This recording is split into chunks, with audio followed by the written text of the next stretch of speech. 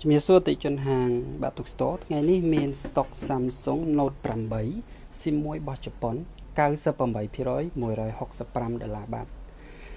stock ជប៉ុនជា stock លក់ដាច់នៅក្នុងហាង Batuk Store យើងខ្ញុំដោយសារវាមានសេវាខ្លាំងអ៊ីនធឺណិតដើរលឿនជាពិសេស Samsung របស់ជប៉ុនប្រើ chip Snapdragon ដែលជា chip របស់អាមេរិកចំតែ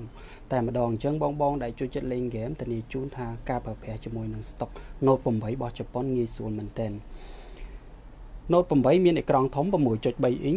មាន RAM 6GB ប្រើ chip Snapdragon 835កាមេរ៉ាក្រោយពីរគ្រាប់មាន ទំហំ12 megapixel អាច portrait ថត portrait បានច្បាស់ល្អមែនទែនទំហំ